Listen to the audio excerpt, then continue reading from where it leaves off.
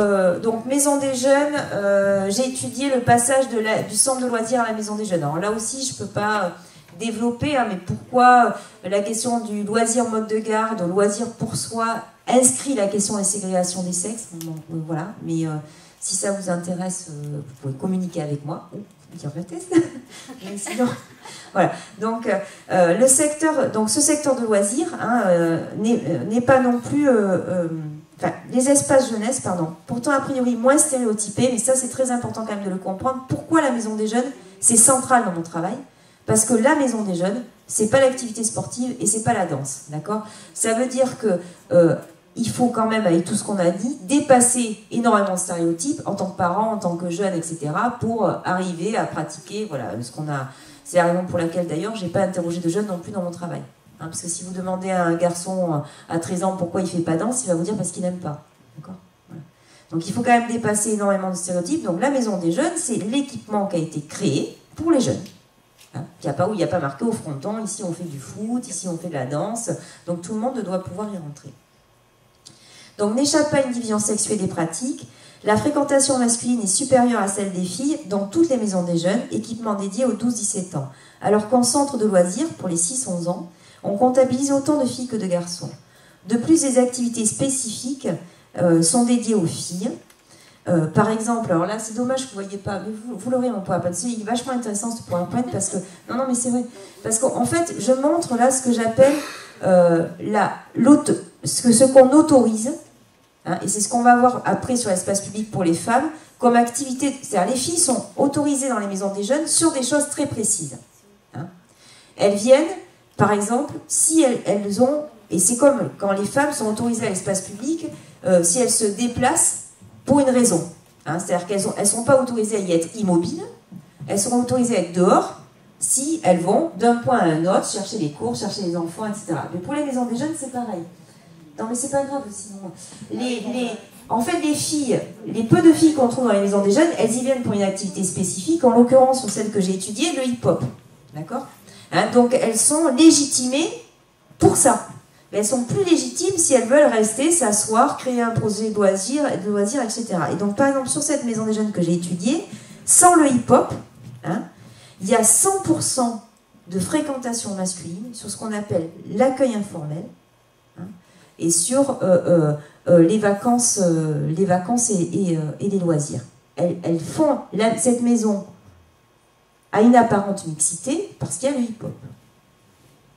Voilà, donc c'est vraiment... Euh, Alors, ces résultats traduisent bien souvent le projet implicite de ces structures, à savoir l'accueil des jeunes garçons, donc j'ai mis entre guillemets difficile, et les politiques publiques construites sur le décrochage scolaire des garçons. Donc le passage de l'école primaire au collège et l'entrée dans l'adolescence marquent le retrait des filles des espaces et des équipements de loisirs et l'éloignement de l'espace public. La rue est alors espace de jeu des garçons, comme en témoigne entre autres la fréquentation des city-stades et des skateparks. Et les loisirs autonomes, autodidactes, hein, donc ce qu'on appelle la pratique non encadrée, sont là encore une pratique masculine, musique du monde, urbaine, etc. Donc ça va être tous les lieux autogérés de musique, euh, rock, etc. Donc les, statistiques par sexe montrent un phénomène très, caractéristique de décrochage des filles. Donc ça c'est le cœur de ma thèse, ce que j'appelle le décrochage des filles de l'espace public au regard de tous les discours construits sur le décrochage scolaire des garçons. Voilà, sous ce couvert-là, on a euh, fait décrocher les filles aussi des espaces de prise en charge. Si elles fréquentent presque à égalité avec les garçons les centres de loisirs, leur proportion suit de façon très importante dans la fréquentation des espaces jeunesse. Donc euh, la présence des filles euh, est circonscrite à, des activités spécifiques et des pratiques autorisées. Les garçons bénéficient d'un plus large panel d'activités et utilisent le lieu plus librement. Ces espaces dédiés aux jeunes des 12-17 ans se disent neutres, mais en fait ce sont des espaces masculins. Les considérer comme tels permet de travailler sur l'hypothèse euh, ou la possibilité de mixité dans le sens de l'éducation ensemble des filles et des garçons. ça, je trouve que c'est très important. C'est ce qu'on appelle l'ouverture du regard sur le genre c'est toute la neutralisation des discours sur les politiques jeunesse, en disant les jeunes, les jeunes, les jeunes, les jeunes, les jeunes. Et puis moi, ce chapitre-là, dans ma tête, il s'appelle La maison des jeunes garçons. Hein. Un endroit où il n'y a que des garçons, c'est un endroit où pas de jeunes, mais de jeunes garçons.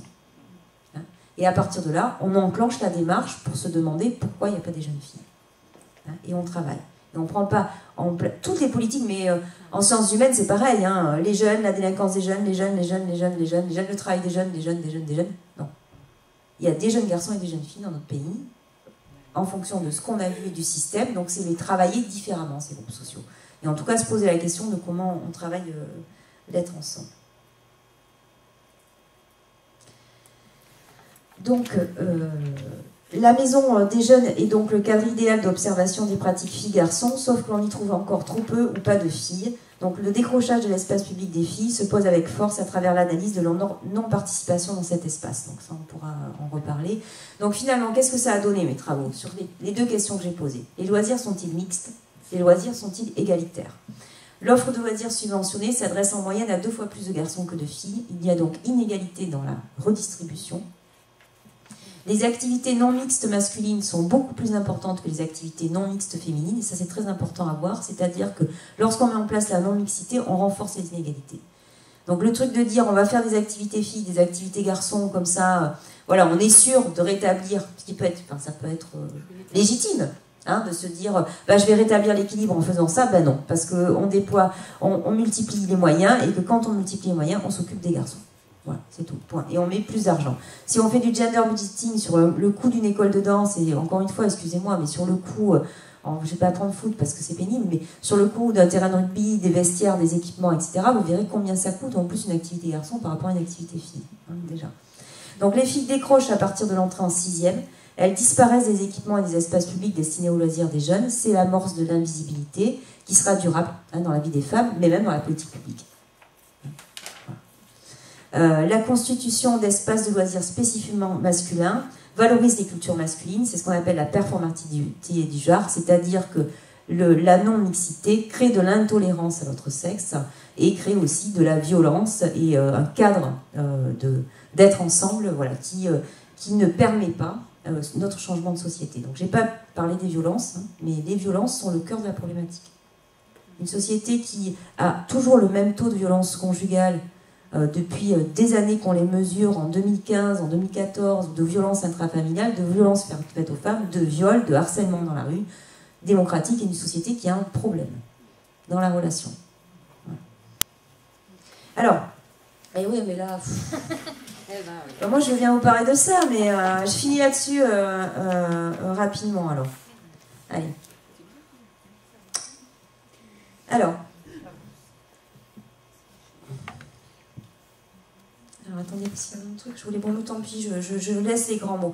Alors là, j'ai fait, je fait un schéma que vous voyez pas, mais c'est pas très grave, euh, sur euh, l'observation. Alors c'est de l'expérimentation, hein, donc autant le reste, j'ai essayé de travailler de la grosse statistique lourde. Là, je me suis assise euh, dans mon quartier un, un après-midi.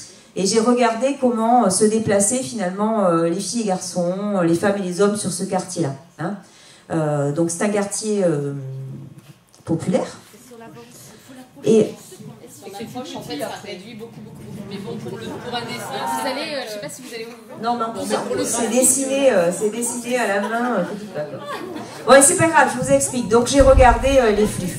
Alors je vais vous, non, je vais juste vous montrer rapidement la question des flux. Donc ici, vous avez le trajet des femmes en bleu là, et là, vous avez, en marron, vous avez le trajet des hommes. Donc on est sur un quartier habitat populaire, hein, avec ce qu'on appelle des tours, hein, des immeubles en, assez grands. Cela, on doit être en, R plus 10, je pense. Donc là, il y a un espace central, avec ici un city stade. Et alors là, il n'y a pas de cheminement, c'est un peu, c'est un peu, un peu bizarre, c'est qu'il faut passer vraiment dans l'espace privé hein, de, la, de la cité pour arriver à la maison des jeunes. Et avant, il y a un terrain, il y a un terrain vague, enfin un terrain en foot en accès libre en fait, un terrain, voilà. Donc je raconte ce que je vois. Donc la population féminine est composée essentiellement de personnes âgées, d'assistantes maternelles et de mamans avec de jeunes enfants. Donc je suis en fin de journée. Les hommes sont de jeunes adultes. Le City Stade, occupé par de jeunes hommes, opère une cloison physique et symbolique euh, de l'espace vert central. Les nounous et les jeunes mamans se rendent à l'aire de jeu pour enfants en longeant les tours. Voilà, j'ai oublié de vous montrer l'aire de jeu pour enfants qui est là. Euh, en longeant les, tours, euh, dont les entrées ont été clôturées, à distance d'environ 2 mètres du pas de porte. Alors ça, moi je suis quelqu'un qui suis farouchement contre ce qu'on appelle les résidentialisations de pieds d'immeuble, je vais expliquer pourquoi. Les résidentialisations des pieds d'immeuble donnent l'impression d'un sas intermédiaire entre le dedans et le dehors. Espace semi-public, ils n'ont pas d'usage particulier si ce n'est d'éloigner la rue. Pourquoi il faut un temps avant d'être dehors hein C'est pas là, c'est pas dans ces trucs-là. D'abord, en plus, il y a des saletés, il y a toujours des poubelles, il y a toujours des merdes. Et c'est pas là où on peut ni jouer avec les enfants, ni prendre un barbac avec son voisin. À quoi ça sert? Surtout que vous avez en face quand même un espace vert. Donc ça, c'est ce que j'appelle les seuils. comment, pourquoi une femme doit se préparer à sortir dehors? Bon, là, en l'occurrence, elle devrait se préparer à rentrer chez elle, mais ça, c'est autre chose. Hein mais la question de la résidentialisation des pieds de tour, moi, je m'interroge.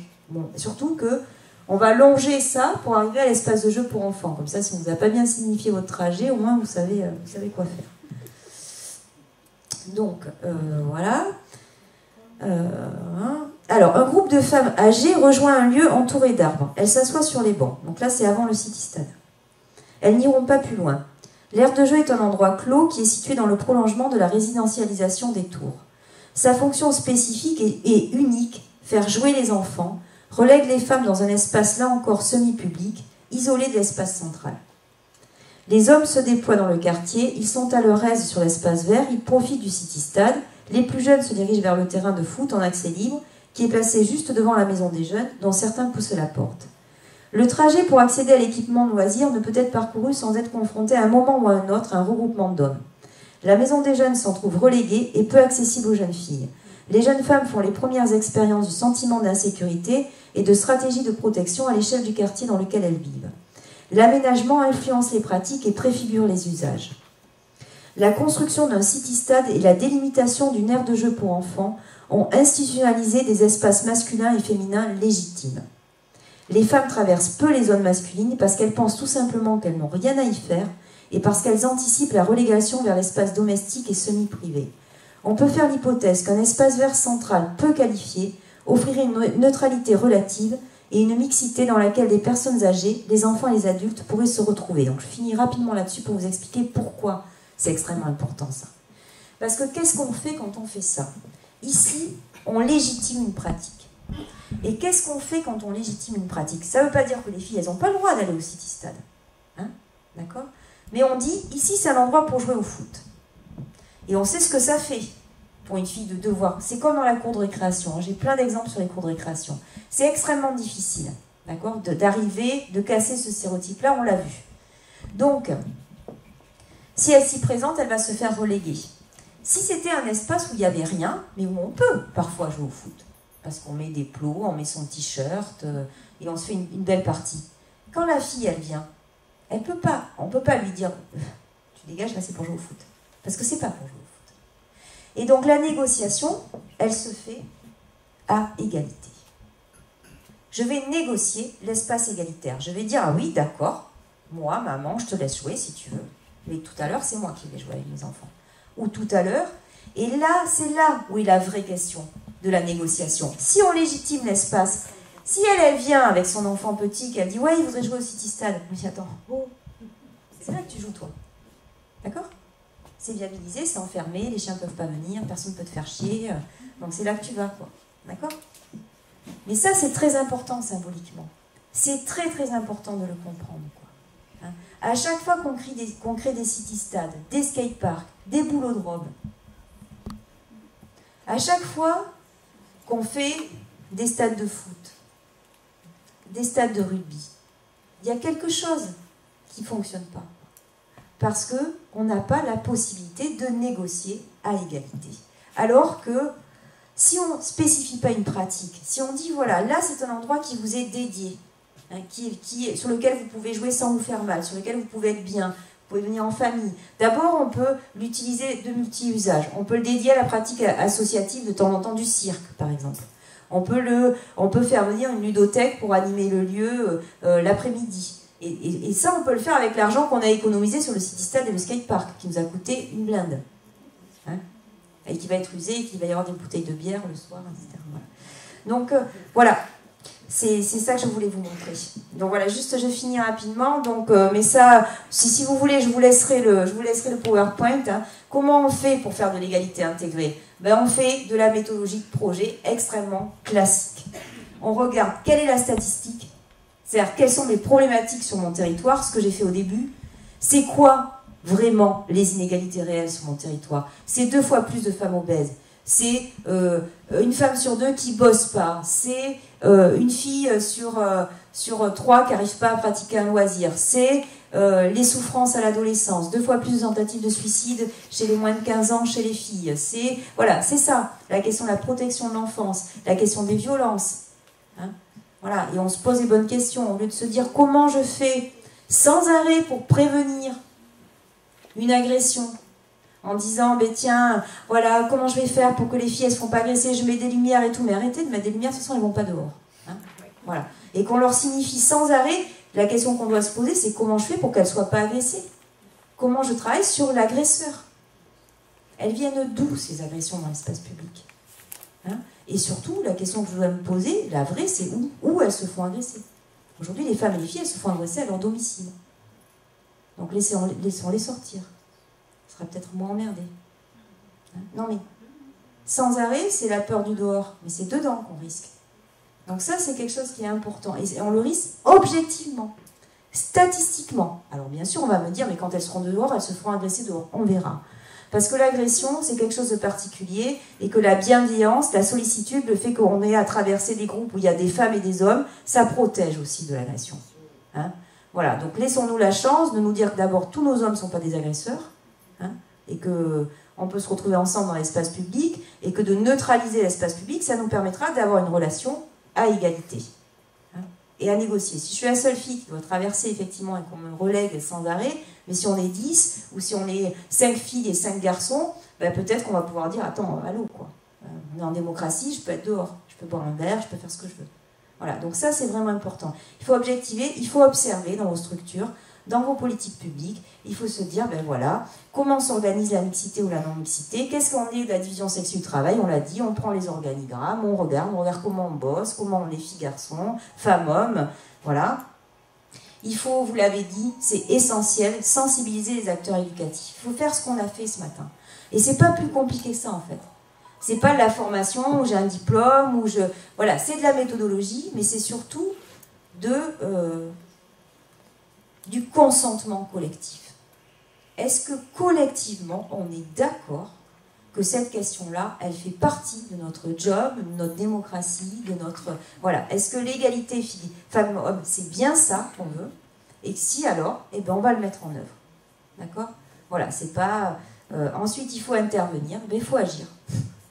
Il faut mettre en place de l'action. Il faut mettre en place de l'expérimentation parce que dans notre pays, nous sommes au niveau de l'expérimentation sur ces questions-là.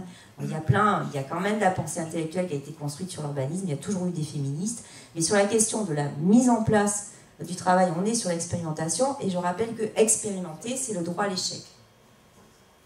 Et ça, c'est très important. C'est parce qu'on expérimente qu'on peut dire à un moment donné, bah là ça marche, là ça marche pas. Donc on met en place, on essaye. Ensuite, il faut mesurer. Ben oui, ben oui, il faut évaluer. Il faut évaluer son travail. Il faut se dire de là où je suis partie. Mais l'évaluation, c'est pas euh, j'ai eu euh, trois filles, alors euh, voilà, je voulais en avoir quatre, j'en ai eu trois, merci, je suis à 90%. C'est pas du tout ça. La question, c'est la statistique sexuée. On part d'un constat, on revient sur le constat. J'avais tant d'écart, qu'est-ce que j'ai au bout de 3 ans, 5 ans, 6 ans par rapport à cette question-là? Et c'est surtout l'échange entre les, entre les professionnels. Il n'y a rien de mieux dans ces questions-là que l'intelligence collective. D'accord? Il n'y a que ça qui marche. Moi, je l'ai fait, ça s'est passé comme ça. Ça s'est fait passer comme ça, voilà. Et c'est comme ça. Et puis, il faut... Euh, et enfin, pour les élus, hein, euh, mais pas que, aussi pour les maisons des jeunes. Moi, je rêve d'une maison des jeunes où il est marqué ici, c'est égalité filles-garçons, que je rentre et que je vois un truc, plein de couleurs et tout. Donc, il faut communiquer et rendre visible. Il faut le dire. Il faut dire, ben moi, dans ma commune, dans mon, dans mon club sportif, ben moi, je lutte contre les stéréotypes, je veux l'égalité filles-garçons, je veux l'égalité euh, femmes-hommes. Voilà, c'est ça que je propose, parce que c'est ça qui est rassurant affectivement, c'est ça le cadre affectif qui est possible pour que les filles et garçons jouent ensemble. Voilà, je vous remercie.